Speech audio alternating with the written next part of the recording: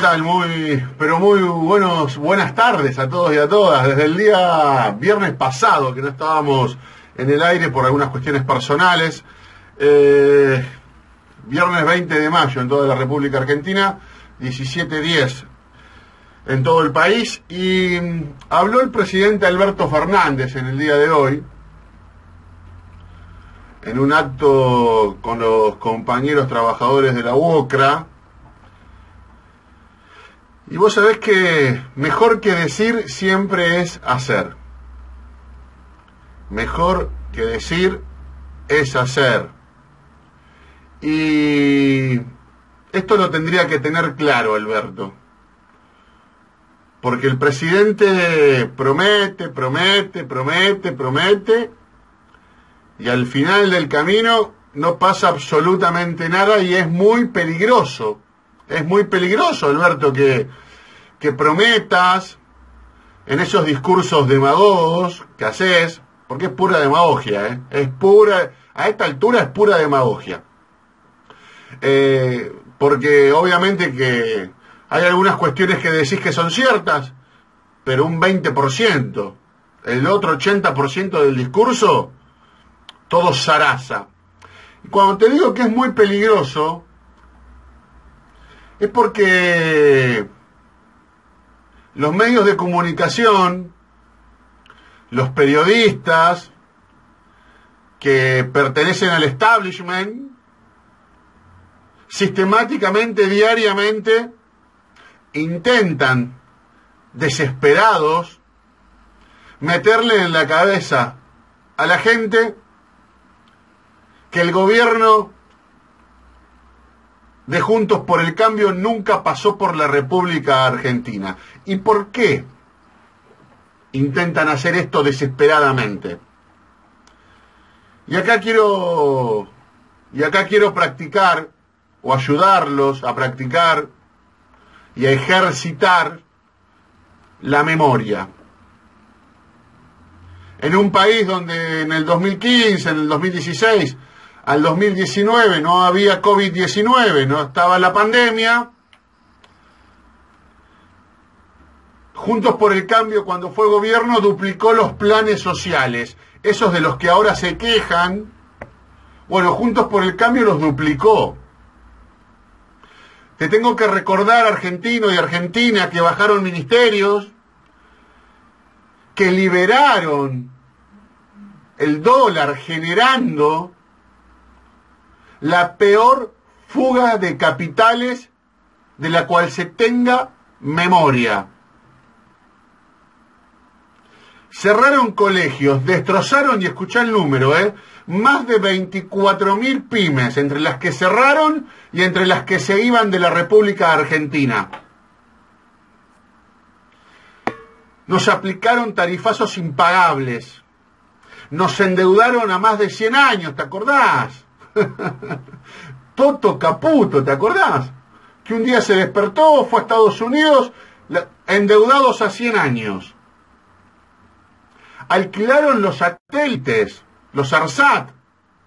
No los usaban para beneficio propio, ¿no? Para beneficio de la República Argentina, sino que alquilaron los ARSAT.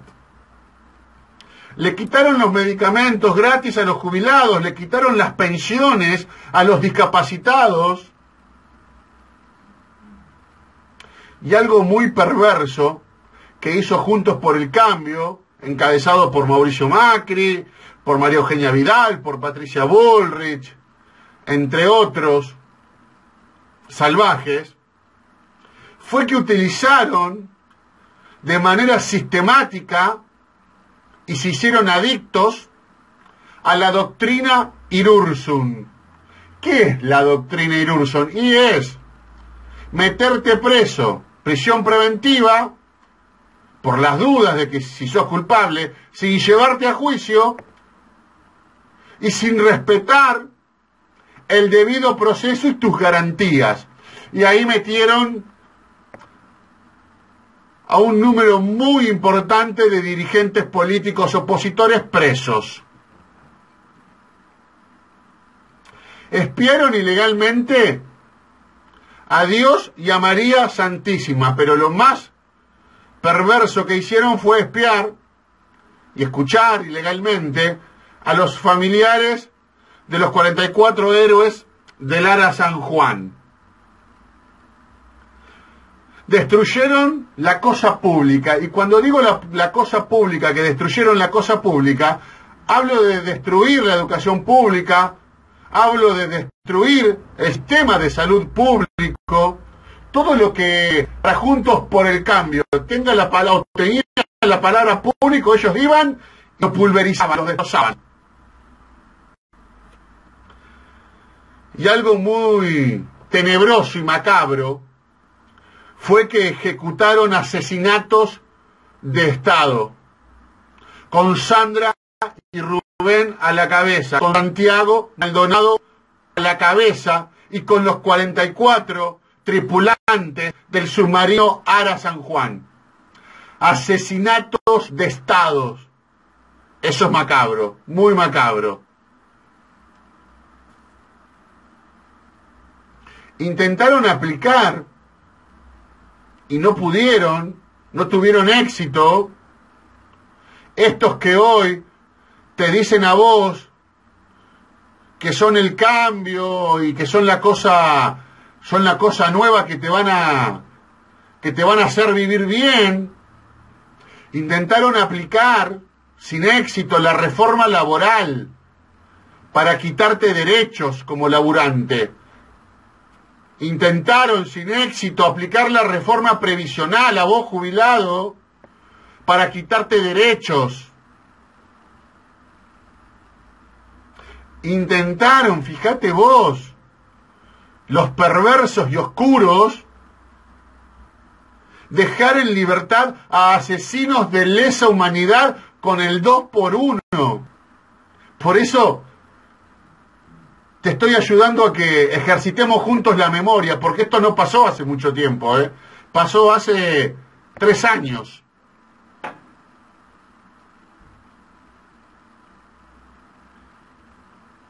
Intentaron poner por decreto de necesidad y urgencia a dos ministros de la Corte Suprema. Vos fijate todo lo que hicieron. Y puedo seguir, ¿eh? Puedo seguir toda la tarde, puedo seguir toda la noche. Necesitaría dos o tres programas. Por eso en el 2019 Axel Kisilov le sacó un 20% a María Eugenia Vidal y otro tanto le sacó Alberto Fernández y Cristina Fernández a Macri y a Pichetto. Ahora bien, ¿por qué es peligroso que, bueno, para lo más importante de todo esto, ¿eh? no había pandemia, no había pandemia. No había pandemia. Y como dato de color también para agregar en el ejercicio de la memoria, volvieron al Fondo Monetario Internacional. 45 mil millones de dólares, de los cuales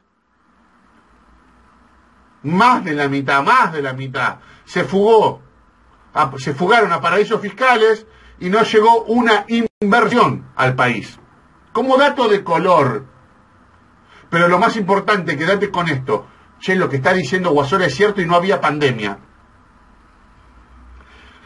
Entonces, ¿Por qué es peligroso que Alberto Fernández, en su discurso, utilice, utilice un 20% como verdad y otro 80% como mentira? Porque Juntos por el, cambio, por el Cambio se reagrupa y ya no nos mienten. Ya se ya utilizan la sinceridad absoluta para decirnos lo que van a hacer si vuelven a ser gobierno. Van a ir por la reforma laboral, por la reforma previsional.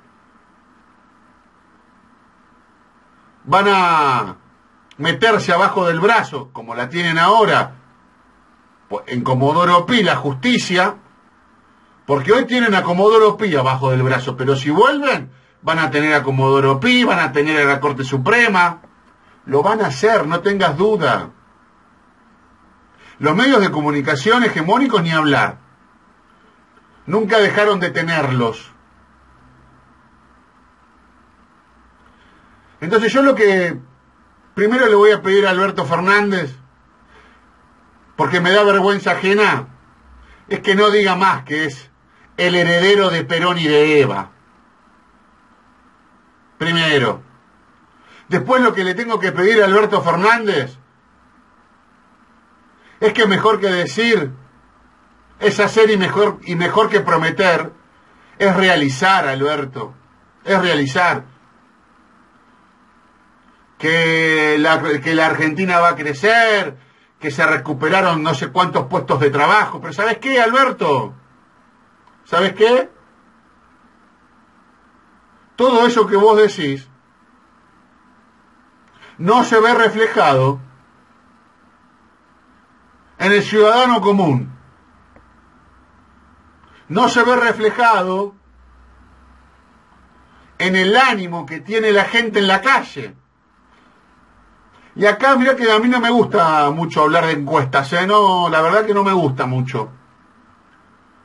Pero todas y cada una de las encuestas dan una imagen negativa del presidente por encima del 80%.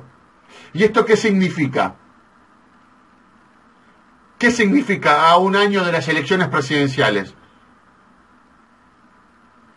Que si hoy fueran las elecciones presidenciales, perdemos perdemos y le damos paso a los salvajes que sin pandemia hicieron todo lo que te acabo de describir. Alberto Fernández, no hablaste, por ejemplo, hoy de que estás perdiendo la guerra contra la inflación. No hablaste, Alberto, y tenés que hablar. Vos hablás de supuestos y haces futurología. Y a la gente no le, no, le interesan los supuestos tuyos y tu futurología. A la gente le importa que pongas las pelotas arriba de la mesa y que ataques a los formadores de precios. Que los ataques sin tener miedo, atacalos. Hacelos bosta. Defenestralos. Pero Aparte de no tener pelotas, hay falta de, hay falta de decisión política contra los formadores de precios. Porque lo dijiste en un momento, ¿eh? No, y está muy difícil comer en el país. Y vos tocas de oído. Tocás de oído. Porque te puedo garantizar, Alberto, que para vos no es complicado, ¿eh? Comer en el país. Pero tocas de oído. Y me andan diciendo por ahí que está complicado ir a comprar al supermercado. como también, como también, tocas de oído, Alberto, que tenemos trabajadores pobres, trabajadores registrados pobres en la República Argentina, y ahí te salta el demagogo, porque los salarios le tienen que ganar a la inflación.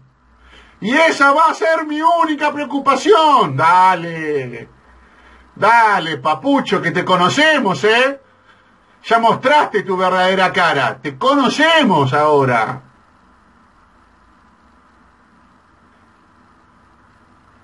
Entonces deja de mentirnos.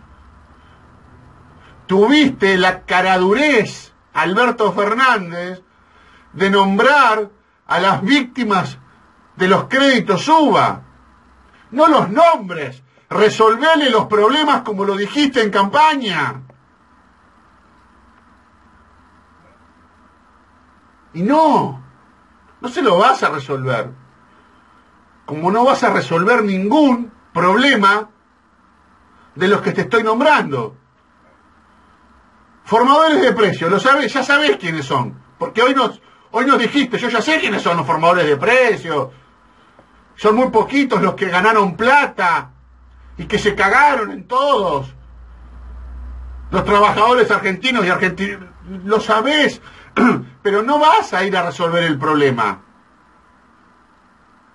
Si vos en un momento hacías lobby para ellos y también hacías lobby en contra del kirchnerismo, si vos te sentabas en la mesa a almorzar con Héctor Mañeto diciendo que Héctor era tu amigo Y a la reta, en vez de decirle la rata asquerosa, le decías, no, mi amigo Horacio. Entonces, ¿sabes qué, Alberto? Quedar bien con Dios y con el diablo es imposible. O quedas bien con Dios o quedas bien con el diablo. A esta altura del partido, y viendo el panorama completo, tengo que decir que estás eligiendo a Satanás, Alberto. Porque mentir de la manera que mentís es cosa de mandinga, diría Paturuzú. Se podía oler el azufre. Hoy cuando hablaba se, se olía en el ambiente el azufre. Y claro, porque metía la cola mandinga. Entonces,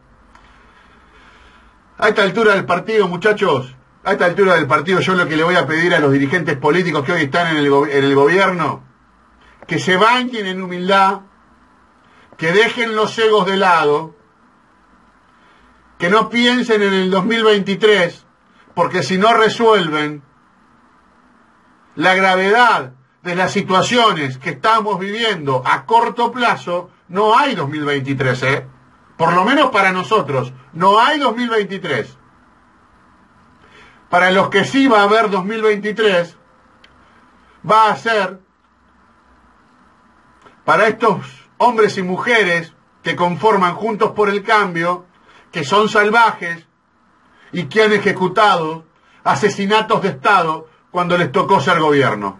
¿Lo pueden entender? ¿O se van a seguir cagando en los 47 millones de argentinos que vivimos en esta hermosa patria? Esto es, quien quiera oír, que oiga.